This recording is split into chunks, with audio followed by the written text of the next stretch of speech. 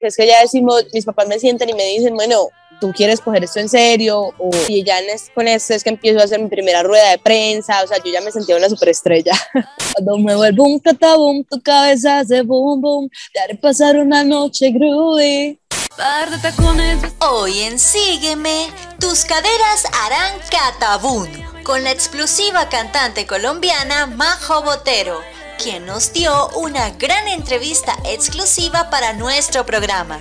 No te lo pierdas porque Majo Botero está de calentura. Sígueme. Es patrocinado por Festival Internacional de Cortometrajes FESILMAR con sus secciones en Venezuela, Polonia, España, Argentina y próximamente Colombia. Participa con tu cortometraje de ficción, documental o animación. Para mayor información, consulta las bases a través de www.fesilmarfest.com o visita su cuenta de Instagram arroba. Golondrina, la mejor marca de sombrillas y paraguas de Colombia. Los únicos en brindarte un año de garantía contra defectos de fábrica. Certificada con el sello de calidad ISO 9001. Compra seguro en línea a través de www.golondrina.com.co. Repuestososcarcito.com. Si no tenemos el repuesto de tu vehículo, te lo conseguimos. Visita nuestra web porque también tenemos inmuebles para ti. Repuestososcarcito.com. Para toda Venezuela, te lo tengo. Si tú que te queme, cuando no nadie viene a Ya me convenciste por DM. Le damos la bienvenida a la hermosa, talentosísima, que ella dice que es para mí, porque yo soy un Don Juan, pero ella es inolvidable porque mueve las caderas con el Rakata y Catabuna. La bienvenida es para Majo Botero.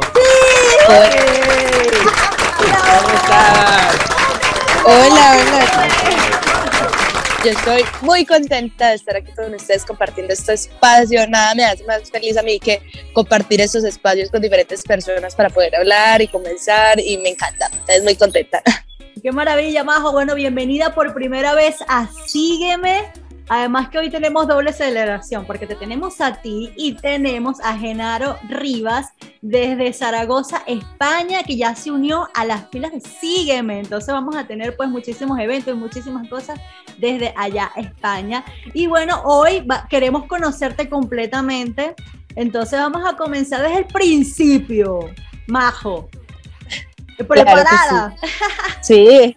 Aunque tenemos aunque tenemos unos, minutos corticos, pero bueno, vamos a tratar de conocerte completo porque es la primera vez que estás acá en Sígueme. Entonces, bueno, comenzaste tu carrera a los nueve años y también con técnica vocal, clases de guitarra. ¿De quién fue esa idea, Majo? Bueno, todo arranca porque pues mi mamá ha tenido esto de que, de que ella nos mete pues a mí y a mis hermanas como diferentes clases de que estamos muy chiquitas como para explorar la personalidad, buscar como en qué nos digamos, nos identificamos más, en qué nos va mejor. Por ejemplo, para mí fue la música, mi hermana más pequeña es la gimnasia, en este momento es una gimnasia de alto rendimiento. Entonces, como que eh, nos ayuda a encontrar estas partes de nuestra personalidad que siento que nos definen, porque yo digo, bajo y música van juntos, o sea, no hay manera de que vayan separados. Y lo mismo pues con mi hermanita chiquita, ella es como, todo ella gira en torno a la gimnasia. Entonces, eh, todo arranca desde ahí Ok. Empiezo yo con clases de, de, técnica vocal y guitarra, luego empiezo pues cada vez eh, voy creciendo y voy tomando que sí, siempre está la técnica vocal y empiezo a variar ya los instrumentos, guitarra, piano, bajo, o sea, todo empieza como a variar y a crecer y cada vez voy como aprendiendo más y más de la música. Luego cuando ya soy más grande, entro al colegio desde el que me gradué y este tenía música Ok. Y entonces como que ya encuentro como, o sea, como esa clase favorita porque ya me dedico al 100 a eso, porque usted tenía un salón con, con instrumentos y de todo y era muy chévere.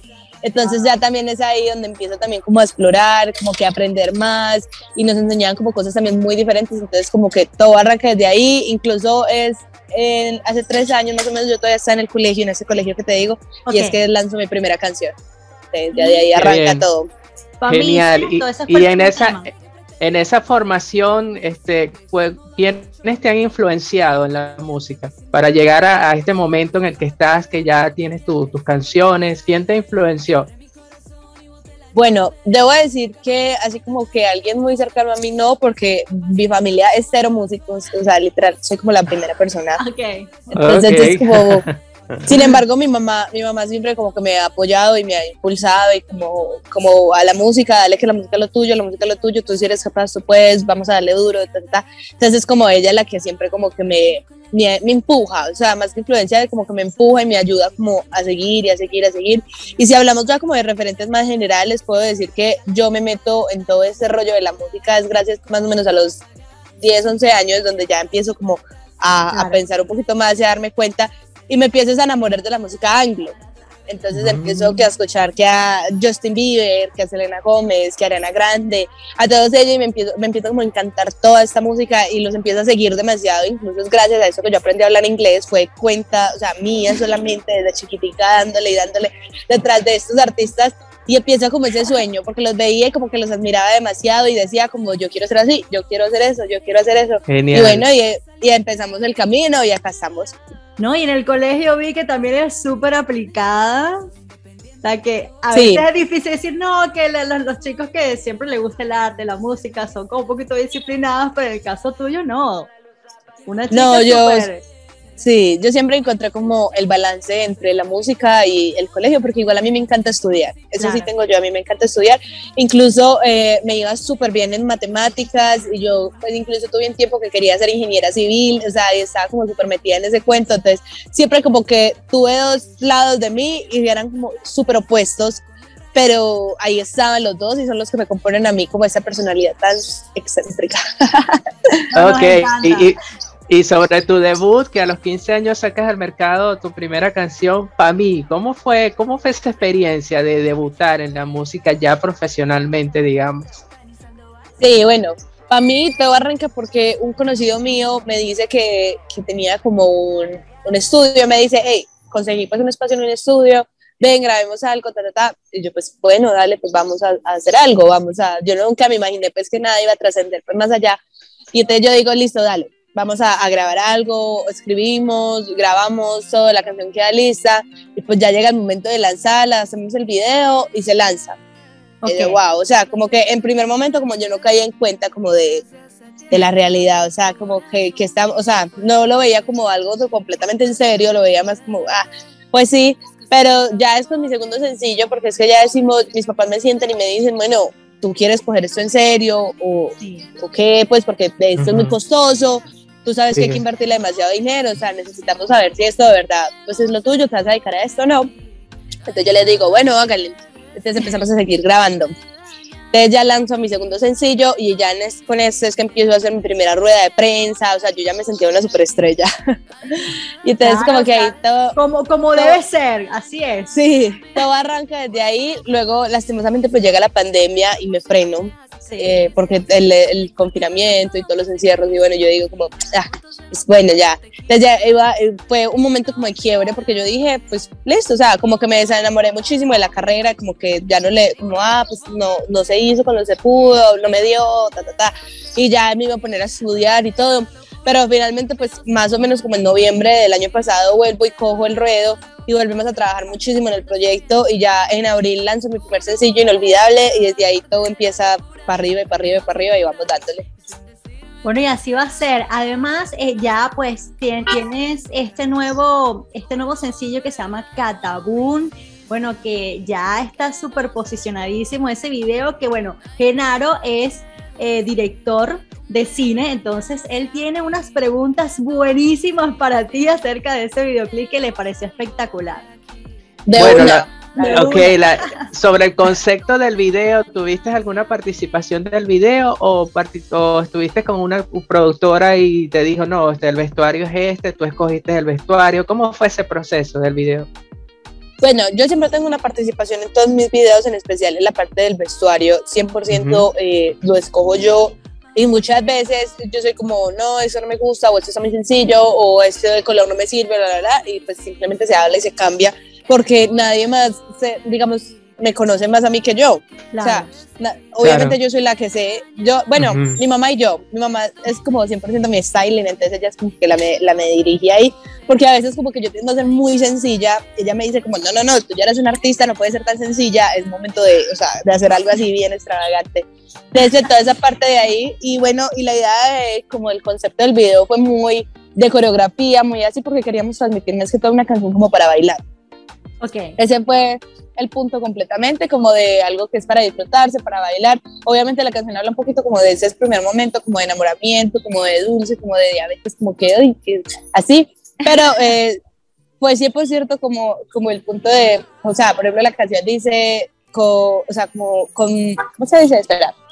Un boom, yo soy tu bomba, boom, la protagonista tu mueve. Cuando hago boom, catabum, tu cabeza hace boom. Entonces, en ese pedazo, obviamente es una referencia de, o sea, cuando bailo, o sea, te explota la cabeza, o sea, como cuando hago ciertas cosas, como que, uff, entonces quisimos como hacer por ese lado y también como que quería explorar un, un nuevo lado de mí, como de la coreografía, porque yo soy súper cerrada a bailar, en especial en público, pero pues me quise poner como este reto y, y lo estudié muchísimo, practiqué demasiado y pues ya salió todo esto. Qué maravilla, me encanta. Además, pues queremos también saber pues todas esas anécdotas que surgieron atrás del video, porque me imagino que bueno, que corre aquí, corre allá, eh, eh, ¿cómo fue ese? ¿Cómo fue ese proceso de la grabación? Esas anécdotas que uno siempre recuerda para toda la vida. No, pues así como, así de anécdotas, a ver qué tenga. Bueno, eh, en especial como era lo del baile, puedo decir que demasiadas anécdotas tengo al respecto de que digamos, me equivocaba, o porque yo tengo algo y es que si yo me equivoco soy súper evidente, a mí mismo me nota en la cara, yo mismo, a mí me abro así los ojos como me pillaron, o sea, ay. Entonces, como en ese lado, pues muchas veces grababan y quedaba haciendo esas caras. Entonces yo decía, no, no, quiten eso, quiten eso. eso no va. También, sí, sí, eso no, no. También, pues como siempre, uno a veces pues planea las cosas, pero como cuando las aterriza, como que obviamente pues cambian un poquito. En eso, en ese sentido hubo un vestuario como que no nos acomodamos como al 100, eso muy chévere, pero como que no encajó ya. como con todo, entonces igual grabamos la escena, pero como que creo que incluso no quedó porque eso como que, mm, como que, como que raro. Sí, y ya como en temas así generales hubo en una de esas que eh, mientras grababa se me enredaba la, la, como tenía un guante y se me enredaba como en el vestido. Y entonces era yo como toda enredada y como que trataba de seguir bailando pero como que no podía se me cayó una pestaña, o sea, son Ay, cosas que tienden como a pasar. o sea. dijo que no tiene anécdotas, pero eso o sí, es demasiado. se te cae la broma. Ay, no, no, qué terrible. Sí. Y hablando, hablando de, de, los próximos proyectos, ¿tendrás giras? ¿Vendrás por acá, por Madrid, Barcelona? ¿Te espero por acá? ¿Qué, qué presentaciones tienes ahora en lo que resta del año? Y por supuesto, si ya tienes planes para el 2022. Bueno, obviamente la idea es empezar a hacer una gira en especial internacional, ese es como el, el objetivo. Eh, estamos trabajando muchísimo para poder llegar a, digamos, a ese punto. Eh, la idea es empezar a hacer shows y eso, pero igual todavía como que estamos como cogiendo el público y como tratando de ahí, pero próximamente se va a ver todo eso. Quisiera muchísimo ir a hacer giras en España, está en proyecto hacer esto probablemente el próximo año o el siguiente, pues hay que, hay que evaluar todo eso, pero está 100% en mis planes hacerlo. O sea, tengo que hacer, hay, una cosa es lo que les digo, una cosa es como pensarlo, otra cosa ya es aterrizarlo, pero 100% me encantaría hacerlo, están mis planes, si no es este año, el próximo y si no el siguiente, pero se va a hacer en algún momento. Claro, a mí, así, así es. Y presentaciones, queremos primicia, cuéntalo todo, Majo, queremos saberlo todo, ¿a quién sígueme? Bueno, presentaciones, tengo algunas cositas por acá en la ciudad de Medellín, todavía no se ha, eh, ¿cómo se dice? Como es confirmado, no se ha confirmado al 100%, pero la idea es esa, igual ya próximamente traigo un nuevo sencillo, entonces también le vamos a meter durísimo a este y esperamos pegarle duro. Bueno, claro que bien.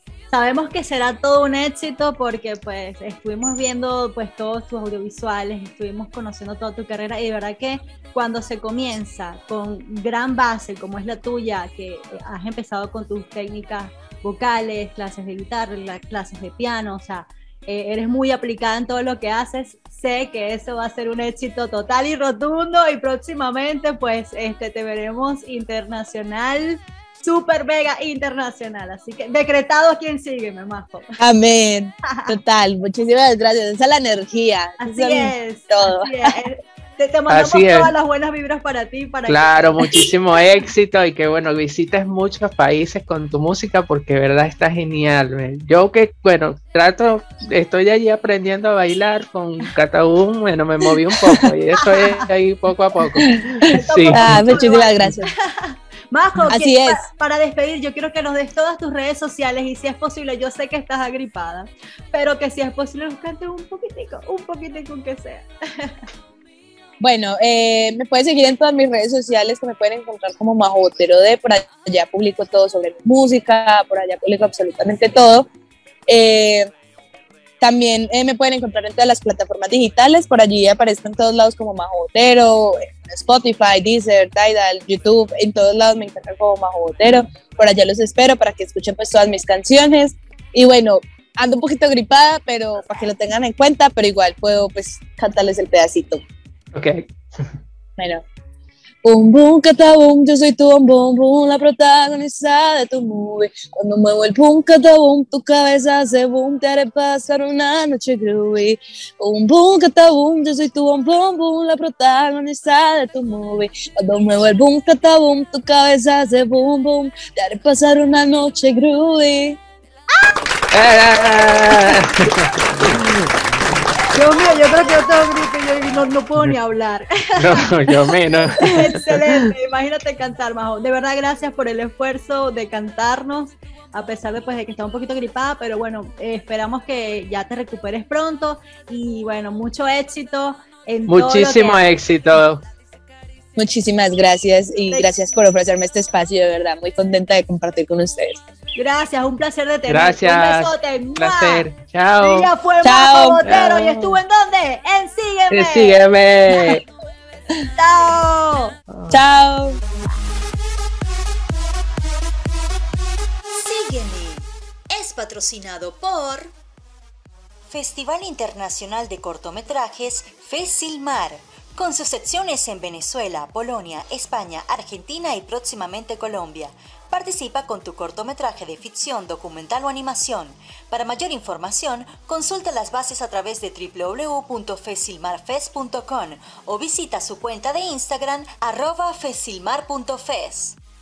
Golondrina, la mejor marca de sombrillas y paraguas de Colombia, los únicos en brindarte un año de garantía contra defectos de fábrica, certificada con el sello de calidad ISO 9001. Compra seguro en línea a través de www.golondrina.com.co. Repuestososcarcito.com. Si no tenemos el repuesto de tu vehículo, te lo conseguimos. Visita nuestra web, porque también tenemos inmuebles para ti repuestososcarcito.com. Para toda Venezuela, te lo tengo.